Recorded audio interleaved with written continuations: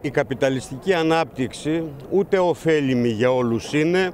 ούτε αυτονόητη εξαιτίας του διεθνούς περιβάλλοντος όπως ισχυρίζεται και διατείνεται η σημερινή ελληνική κυβέρνηση. Επιδίωξη όλων τους είναι να σύρουν πίσω από το άρμα των μονοπωλιακών συμφερόντων το εργατικό λαϊκό κίνημα μόνο και μόνο για να υπηρετήσουν τα κέρδη των λίγων